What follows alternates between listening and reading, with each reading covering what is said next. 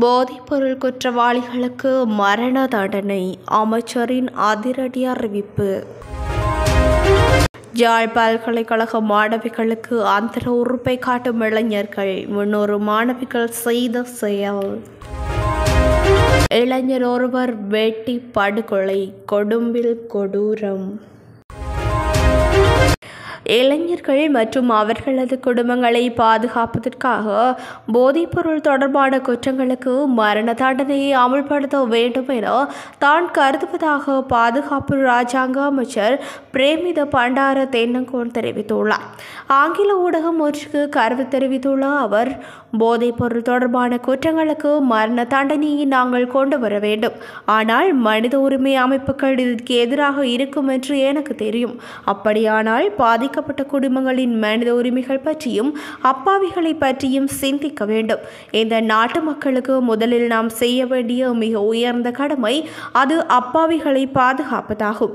இளைஞர்களை பாதுகாக்கும் விடயத்தில் நாங்கள் இதில் கடுமையாகவும் கண்டிப்புடனும் இருக்கின்றோம். மரண தண்டினியை ஊக்குவிக்க நாங்கள் விரும்பவில்லை என்றாலும் இளைஞர்களை பாதுகாப்பதற்காக இந்த பிரச்சினைக்கு ஒரே தீர்வு என்பதால் இதை செயல்படுத்த வேண்டும் என்று நான் நினைக்கின்றேன். ஜனாதிபதியும் பாதுகாப்பு அமைச்சர் ரணில் விக்ரமசிங்கவும் சம்பந்தப்பட்ட அதிகாரிகளுடன் கலந்துரையாடியதாகவும் போதைப்பொருள் அச்சுறுத்தலை இந்நாட்டிலிருந்து ஒழிப்பதில் முழு கவனம் செலுத்தி வருவதாகவும் புதிய சட்டங்கள் அமல்படுத்தப்படும் என்றும் அவர் சுட்டிக்காட்டியுள்ளார். இதேவேளை ஆபத்தான மற்றும் போதைப்பொருள் பாவனையை தடுப்பதற்காக ஜனாதிபதி செயலணி ஒன்றை நியமிப்பதற்கு அண்மையில் அமைச்சரவை அங்கீகாரம் வழங்கியுள்ளது. ஜனாதிபதி ரணில் விக்ரமசிங்க நீதி சிறைச்சாலை விவகாரங்கள் மற்றும் அரசியலமைப்பு மறுசீரமைப்பு அமைச்சர் ஜனாதிபதி சட்டத்தரணி கலாநிதி விஜயதாச ராஜபக்ஷ பொது பாதுகாப்பு அமைச்சர் டிரான் அலஸ் ஆகியோரால் ஒன்றிணைந்து அமைச்சரவை பத்திரம் சமர்ப்பிக்கப்பட்டது என்றும் அவர் தெரிவித்தார். யாழ்ப்பாணம் பல்கலைக்கழகத்தின் கொக்குவில் உள்ள பெண்கள் விடுதி மற்றும் வாடகை அறைகளில் தங்கியுள்ள மாணவிகள் பல்கலைக்கழகத்திற்கு காலையிலும் மாலையிலும் வீதியால் செல்கின்ற பொழுது சில ஆசாமிகள் பாலியல் தொல்லை கொடுப்பதாக கோப்பாய் போலீஸ் நிலையத்தில் முறைப்பாடு பதிவு செய்யப்பட்டுள்ளது. இது தொடர்பில் பல்கலைக்கழக நிர்வாகத்துடன் கடந்த மாதம் முன்னூறு மாணவிகளின் கையெழுத்துடன் கடிதம் அனுப்பப்பட்டுள்ளது. அத்துடன் மாணவிகள் மீதான பாலியல் தொலை தொடர்பில் போலீஸ் நிலையத்தில் முறைப்பாடு மேற்கொள்ளப்பட்டது.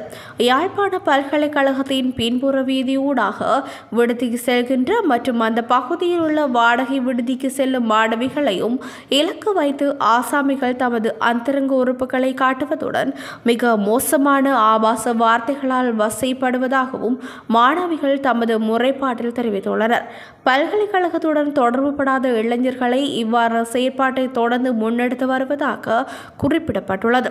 நேற்று காலை மோட்டார் சைக்கிளில் வந்த இருவர் மாணவிகள் இருவரை அழைத்து ஆபாச வார்த்தைகளால் பேசியுள்ளனர் என்று போலீசார் தெரிவித்தனர். இது தொடர்பில் மோட்டார் சைக்கிள் இலக்கத்துடன் முறைப்பாடு பதிவு செய்யப்பட்டுள்ளது.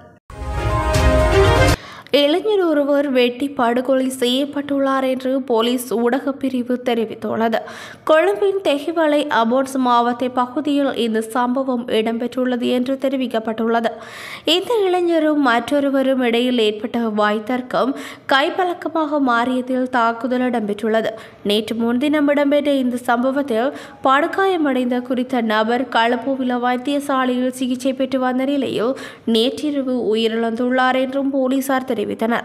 தெஹிவலை அபோன்ஸ் மாவட்டத்தில் வசித்து வந்த பதினெட்டு வயதுடைய இளைஞரை இவ்வாறு உயிரிழந்துள்ளார்.